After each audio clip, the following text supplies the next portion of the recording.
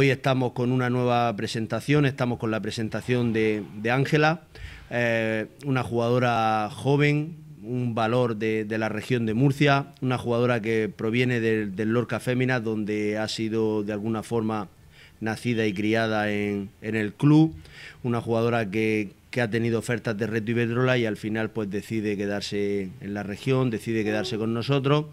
y, apostar por, por Alama Club de Fútbol, lo cual pues nos, enorgullece y estamos de enhorabuena. Es una jugadora contundente, con muchísima calidad, muy rápida, la cual pues es polivalente, como este año, como estáis viendo este año, es algo que, para nosotros es muy importante, puede jugar tanto de pivote defensivo como, como de central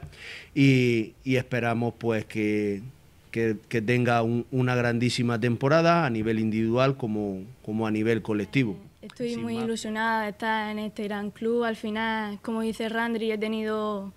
pues varias ofertas de reto, pero es verdad que yo soy mucho de mi casa, me gusta mucho estar con mi gente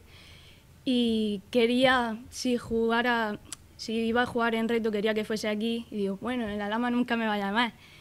Llegó la llamada, me hizo muchísima ilusión, a la vez que me puse nerviosa,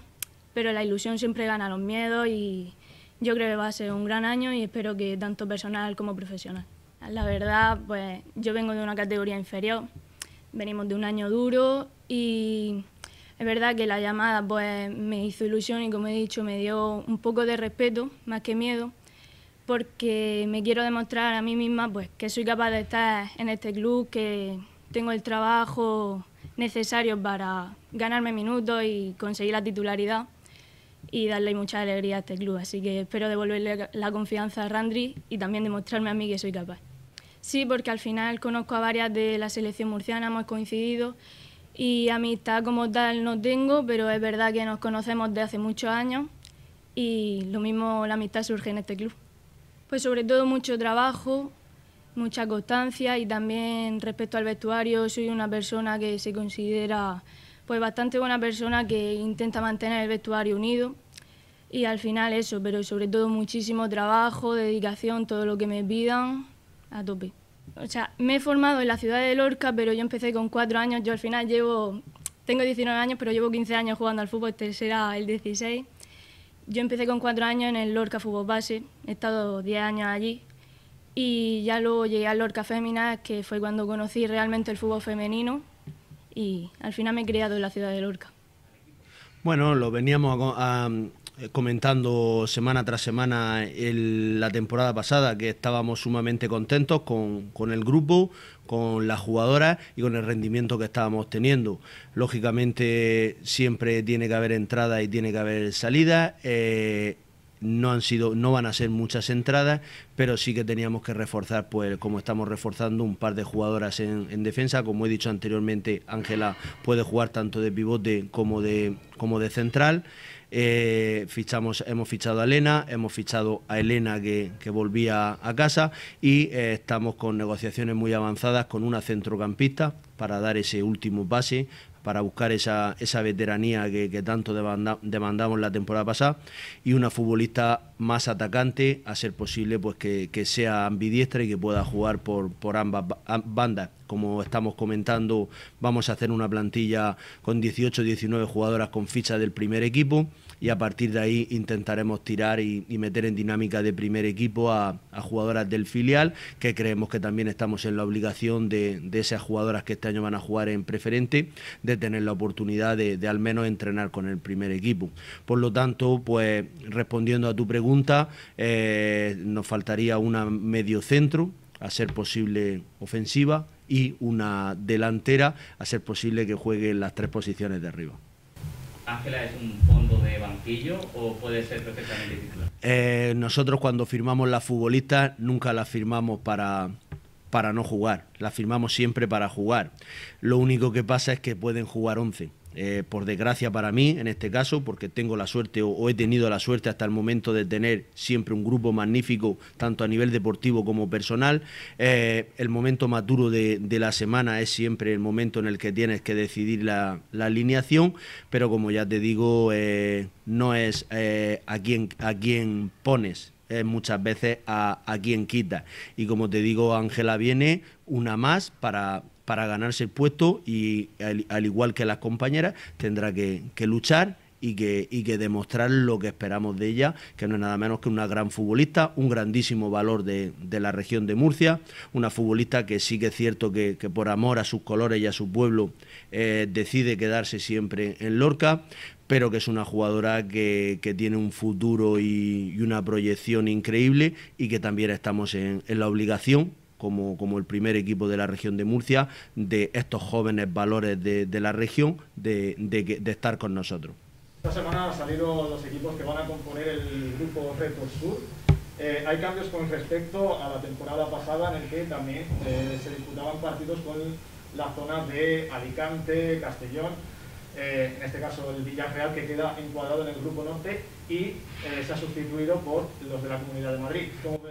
Bueno, te contesto primero. Eh, Villarreal jugará en, en, Primera Iberdrola ya que ha ascendido, es el equipo que ha ascendido. No hay ningún equipo que, se marche a Reto Norte. Lo que sí hay son tres equipos que asiduamente estaban en este grupo, como son Valencia B, Levante B y Aldaya, los cuales han descendido. Al haber descendido y también al recomponer el grupo con Santa Teresa que viene de primera división y Betis que ha sido el grupo el equipo que ha ascendido pues han tenido que recomponer como lo han recompuesto y Elche también que ha ascendido pues eh, de los dos equipos de Madrid uno se viene para para el sur por primera vez que es el Madrid eh, Club de Fútbol Femenino y Atlético Madrid continuará en, en, en norte ¿Cuál es el objetivo del club este año, ya que se ha hecho una reestructuración del sistema de ascensos y descensos? Bueno, el objetivo del club en sus 11 temporadas que van a ser ya de, historia en, el fútbol femenino, siempre su objetivo ha sido eh, ser mejor que la temporada anterior.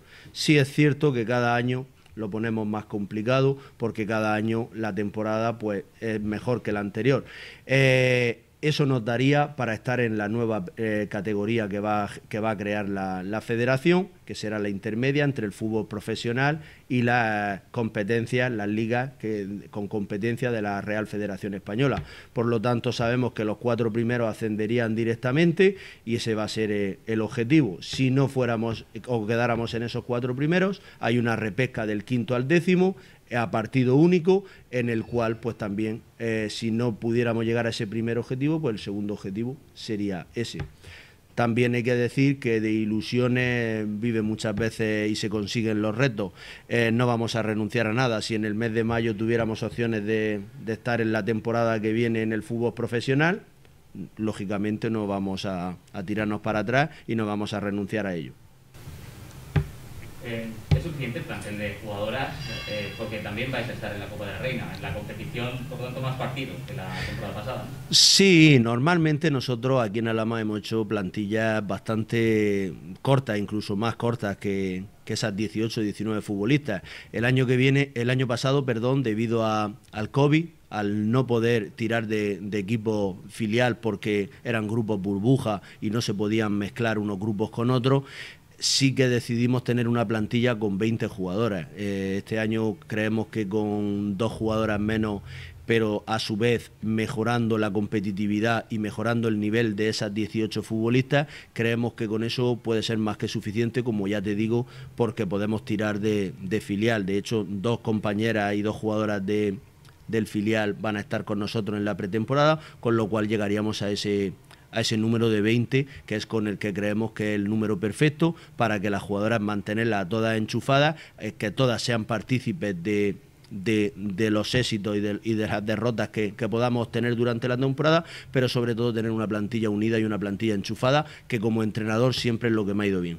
Y por último, yo por mi parte, en cuanto al, a la incidencia de la COVID, se está dando además eh, personas que tienen eso entre los... Eh, 17 hasta los 29 años de, edad. En esa franja de edad la mayoría de las jugadoras que tiene el, el Alama. ¿Te sientes preocupado por esta circunstancia? Porque se está aumentando mucho la incidencia. Bueno, sí, a ver. Eh, la incidencia, lógicamente, esto no, no podemos estar eh, aparte de la sociedad, tenemos que, que, porque nosotros somos parte de la sociedad. Sí que es verdad que, bueno, Tamara, la coordinadora, está en contacto con todas las jugadoras. En un principio, las jugadoras vienen, a excepción de Ángela por su edad y de, y de Nerea por su edad, todas las jugadoras van a venir vacunadas, eso también creo que es una noticia importante. El cuerpo técnico, eh, los que quedan por vacunarse, si no pasa nada el jueves que viene, empezarán a vacunarse, con lo cual creemos que para el 5 de agosto tendremos el, prácticamente el noventa y tantos por ciento de plantilla y cuerpo técnico vacunados. Creo que eso es un paso muy importante para nuestra tranquilidad y a partir de ahí pues esperemos que también pues las dos niñas como digo yo eh, que también sean eh, podamos eh, que estén vacunadas yo creo que la vacunación se está avanzando muchísimo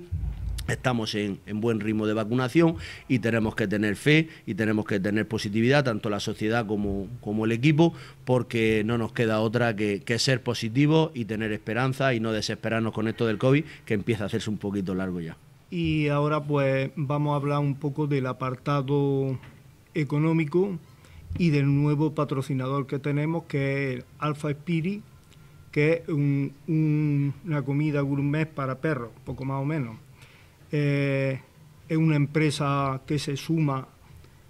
a, la colaboración con, con, este club, con lo cual es muy de agradecer en los tiempos que estamos de pandemia y demás, tiempos difíciles. Por lo tanto, eh, la presentamos Mm, creo que como un triunfo porque siguen todos los que había y además se suma un nuevo patrocinador. Mm, en el apartado económico, el presupuesto de este año aproximadamente se nos va a ir, eh, si es que luego, como suele ocurrir, no se, no se engorda un poco más, pero aproximadamente unos 350.000 euros, que Mm, para un club modesto como nosotros es muchísimo dinero, puesto que estamos compitiendo con, con otros clubes que tienen un millón de, euros de presupuesto. Llámese Granada, eh, Santa Teresa, Albacete, etcétera, etcétera. Entonces, pues creo que vamos a cubrir el presupuesto, vamos a seguir eh, cumpliendo todos nuestros compromisos eh, como se viene haciendo desde la fundación de este club y estamos contentos porque eh, también, aparte del deportivo, creo que el económico va a ser un año en que vamos a conseguir salir a iros.